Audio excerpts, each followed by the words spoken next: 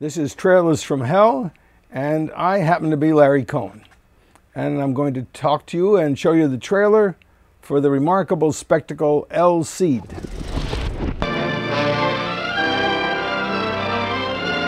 So, El Cid, Samuel Bronston presents. This has got a great cast. Charlton Heston at his most heroic, and I think uh, Sophia Loren was at her most beautiful when she made this film.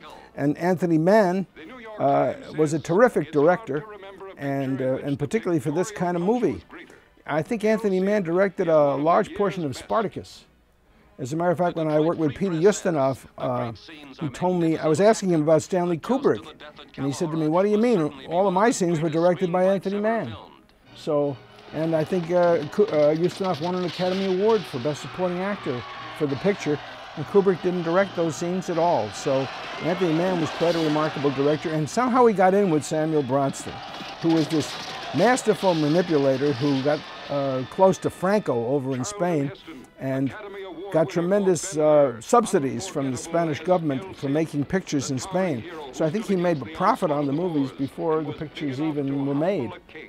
And the more money they spent on the pictures, uh, the more money that Samuel Bronston made. So naturally, they were extremely opulent.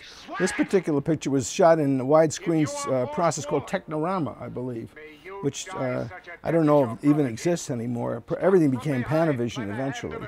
But uh, it's quite spectacular. And the music is, of course, by Miklos Rozsa, who is one of my favorite composers, and I was lucky enough to do a picture with Miklos Rozsa called The Private Files of J. Edgar Hoover, and he was a wonderful man and a very, very helpful, supportive person. Good with notes on the picture too. He was he he contributed suggestions which were usually very good. So I was delighted to work with him, and he did one of his great scores for this particular film.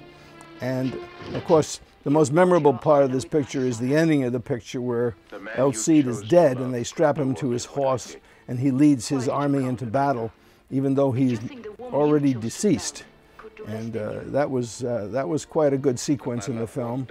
And I think the you know the thing you remember most about it is just how beautiful Sophia Loren was. You can see it in the trailer right here. She's just a knockout. And Charlton Heston had a great career of playing these kind of parts. Uh, he was the he was the great leading man for uh, costume pictures, and uh, he, he knew how to sit a horse and carry a saber, and uh, he played every part of pretty much the same as the previous one. Everybody was Ben-Hur, but uh, and he had a certain delivery, kind of a modified Gregory Peck delivery.